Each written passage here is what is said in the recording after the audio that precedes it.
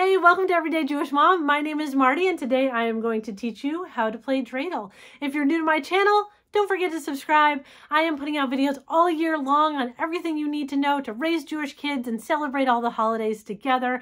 I also have a printable version of these instructions. Um, the link's in the bio below. So, this is a dreidel. All dreidels have four sides. They're a four-sided top with four Hebrew letters on there, and they go in a specific order.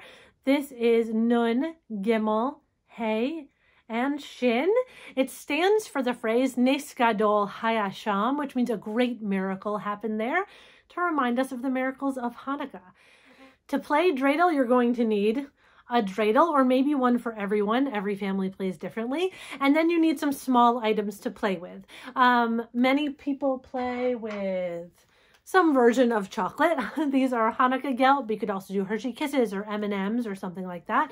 Um, pennies are also a real um, popular thing to play with. And one of my favorite finds are these flat marbles.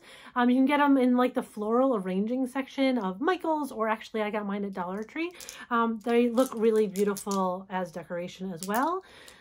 Take your small items and divide them evenly among everyone at the table. And then everyone is going to take one and put it into the center to create the pot. And now it's time to take turns spinning. If you get a nun, you are going to do nothing. It'll just move along to the next person. Gimel is the best. You get everything that's in the center. So scoop that, put it in your personal stash, and then everyone will take one item and put it back into the center to replenish that stash. Hey, you get half. Um, this is my favorite as a mom because it's really great to teach my kids visually what half looks like. And shin, you put one in.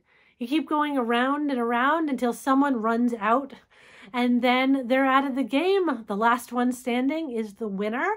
If you are less concerned with winning and more concerned with just playing, you can actually replenish that center um, pot from an outside source and that'll keep your game going longer. If you have any questions or if your family plays a little differently, I would love to know in the comments below.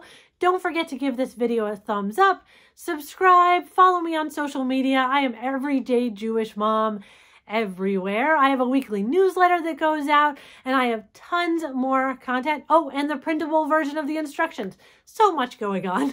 Check out all of all of my other videos and I'll see you soon.